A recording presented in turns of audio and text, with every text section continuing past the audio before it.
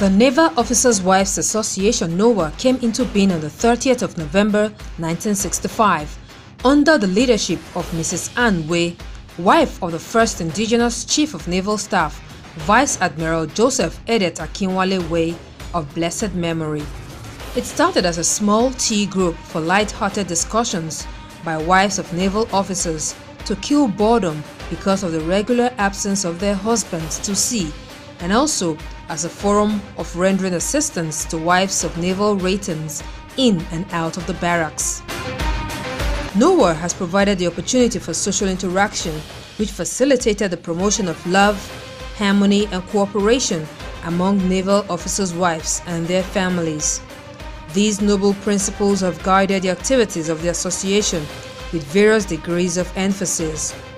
In the last four decades, NOWA has recorded a number of achievements in its efforts to complement the efforts of the Nigerian Navy in welfare-related projects in the barracks. These are in the areas of education, charitable ventures, economic empowerment, health, and social services as well as sporting activities. The aims and objectives of the association are as follows. To promote the upkeep of the home and environment, to be a charitable organization to promote the welfare of the needy, motherless children, handicapped and disabled people, the poor and the aged. To promote goodwill, harmony and cooperation among the naval wives and their families. To seek the educational and literary development of the society, the association shall establish schools, daycare centers, nurseries and other facilities that enhance the standard of life of the naval personnel and their families. The incumbent head of the association, Barrister Mrs. Teresa Ibas, assumed leadership of NOWA on July 13, 2015 as the 20th president. Since assumption of office, she has demonstrated a strong determination to reposition the association, thereby lifting it to greater heights. Accordingly, in the last three years, four months, NOWA, under her leadership, has touched the lives of many people in one way or another through her care, benevolence, and sense of human feeling.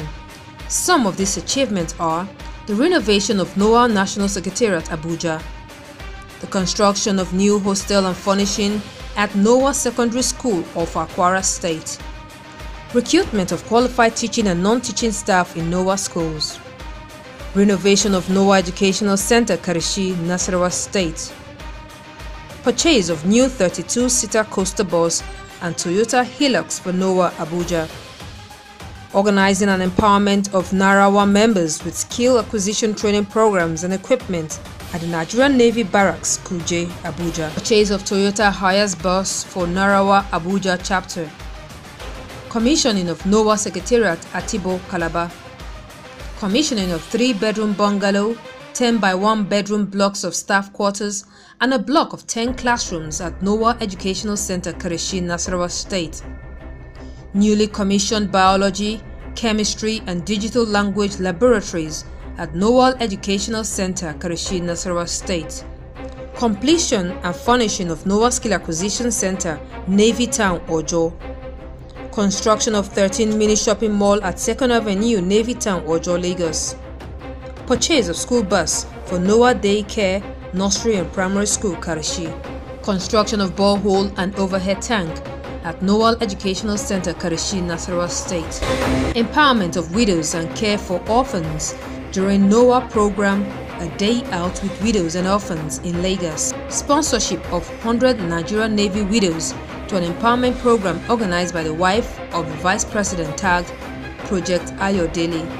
Commissioning of a block of five classrooms at NOWA Daycare Nursery and Primary School, Mobi Road, Apapa, Lagos. Construction of two bedrooms, commandant accommodation and 10 units of one-bedroom staff quarters at NOWA Secondary School of Akwara State.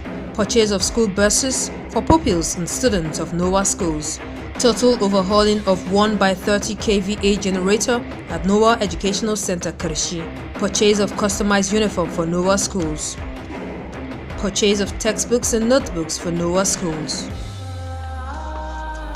First and third positions in Nasarawa State won by Ms. Vanessa Ibo and Esther Ajani, respectively, at the 2016 Cowbellpedia Mathematics competition.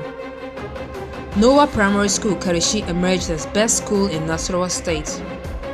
Partnership with New Horizon Nigeria Limited to provide ICT certified courses for NOWA schools. Renovation of NOWA Guest House Abuja. Furnishing of NOWA Secondary School Ojo Biology Laboratory. Purchase of computers for NOWA Secondary School Ojo Lagos. Purchase of 15 set of computers for NOWA Daycare Nursery and Primary School Ojo Lagos. Donation of delivery bed, two baby cots, and bed sheets at Nigerian Navy Reference Hospital Calabar, release of 9 inmates, and payment of WAEC registration fees for 15 inmates of Kuje Prison. Visit to IDPs at Christian Center Camp, Ihuaga, Edo State. Visit to RACO Commission Motherless Babies Home, Lagos. POWA President, NOWA President, and SVC's chief's wives visit IDP camp in Maiduguri. NOWA National President unveiled the foundation plaque for the proposed NOWA shopping mall at Headquarters Logistic Command, Oghara, in Delta State.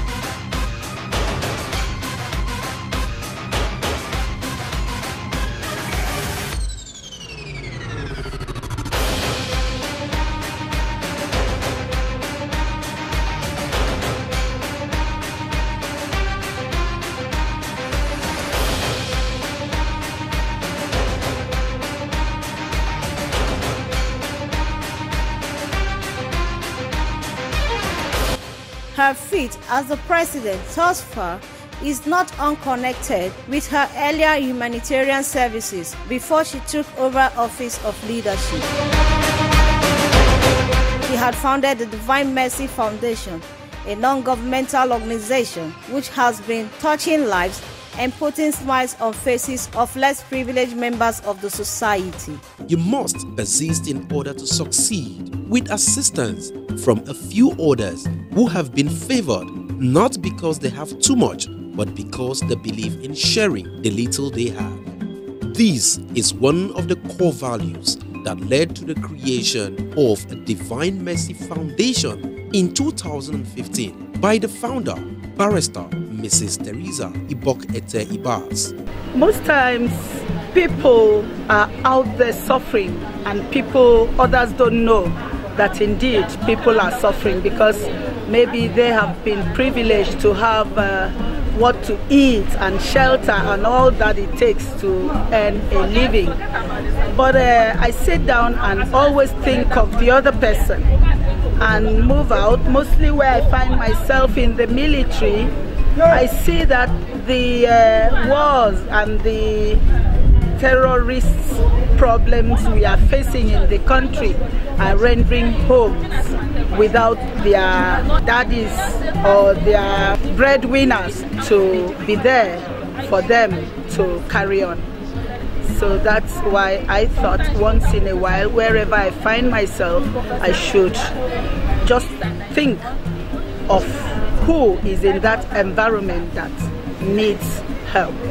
Since 2015, even as a non-profitable foundation and the challenges that follows, the foundation with lean resources has trained youth in skills acquisition, empower the less privileged in the society, offer free professional medical services for the aged, visit to orphanage homes, home of the poor and the needy to offer relief materials as well as food staff.